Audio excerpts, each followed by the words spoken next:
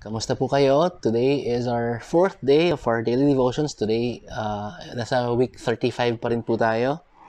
And today we'll be hearing from someone uh, from Albania. Again, hindi binigay ang pangalan niya for security reasons. And we'll be reflecting on James 2.26.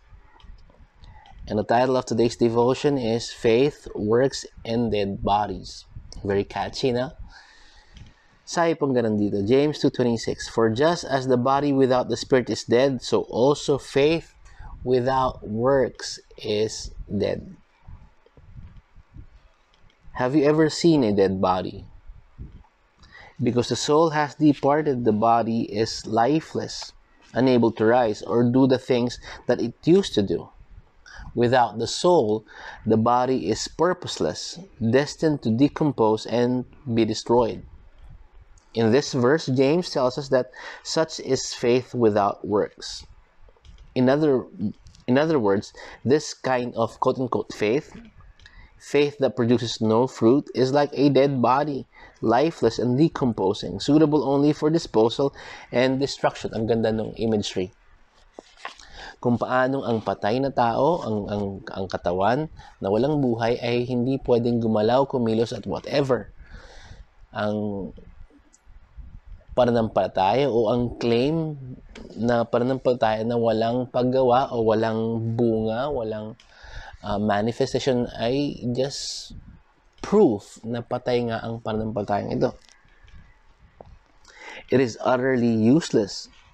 A person who claims to have faith but has no accompany, accompanying works is a walking contradiction, like a moving corpse.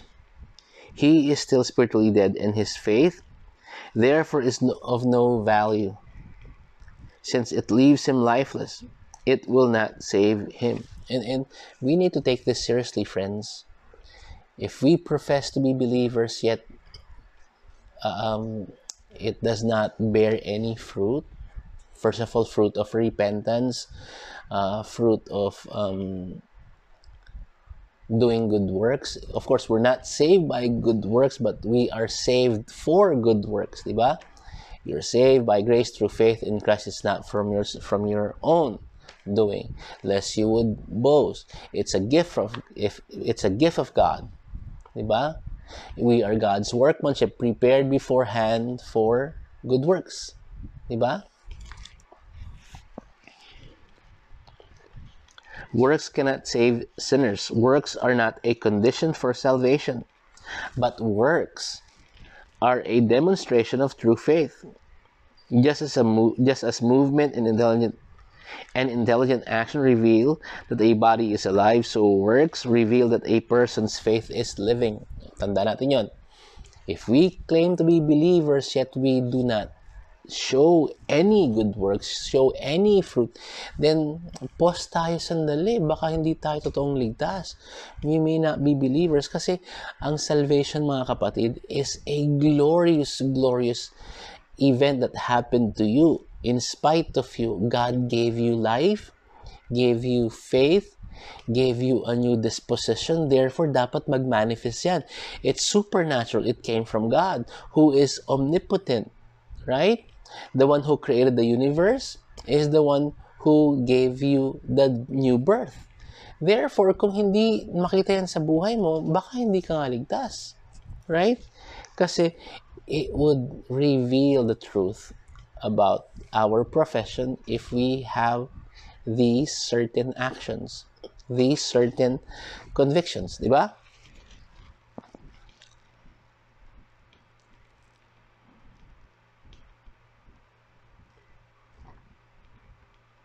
Good works are prepared beforehand by God for believers to walk in. Kaya sinabi ko kanina, they are the inevitable fruit of a saving faith and will manifest in every believer's life. It is good and right to strive for good works. We don't do this to earn God's favor, but in response to it. So make every effort to supplement your faith with good works today for they assure your heart that your faith is alive and keep you from being an ineffective and an ineffective servant of Christ Jesus. So, kamusta ang inyong buhay?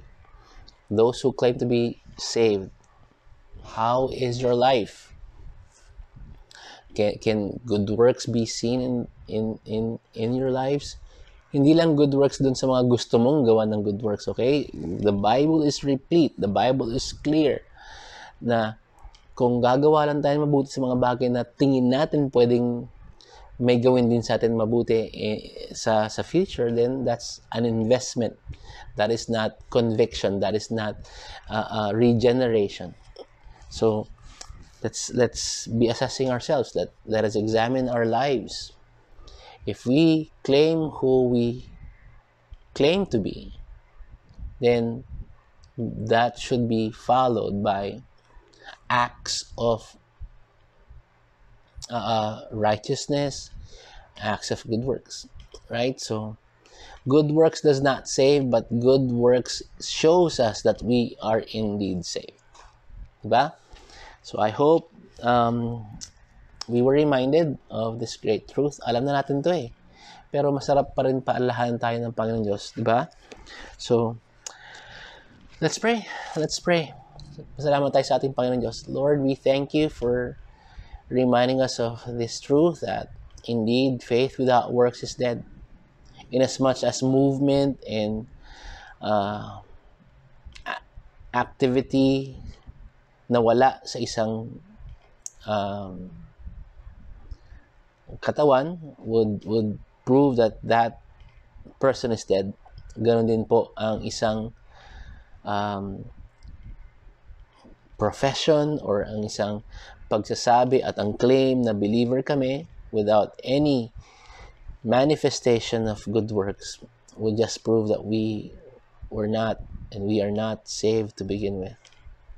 Dalangin namin, Panginoon Diyos, kami na mananampalataya ay patuloy niyo pong himukin at udyukan na gumawa ng mabuti para po sa kapurihan ninyo. And to those who claim to be believers yet does not manifest any good works, may by your grace, um, um, may they examine themselves.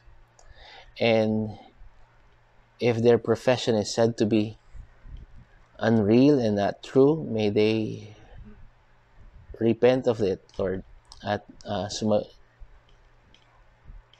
sumandigan sa pangako ninyo na sino man pong lalapit sa inyo ay hindi papa itataboy at inyo pong ililigtas. We continue to thank you, Lord, for today. We pray that you would um, bless every one of us um, as we go about our day, to those who would be traveling, to those who would be working, to those who would be staying home and do chores. We pray that whatever we do, we would do it for your glory. In Christ's name we pray. Amen and amen. Thank you for joining me. I'll see you all tomorrow. God bless you and mag-iingat kayo lagi. Um, yeah. Ingat kayo. Bye.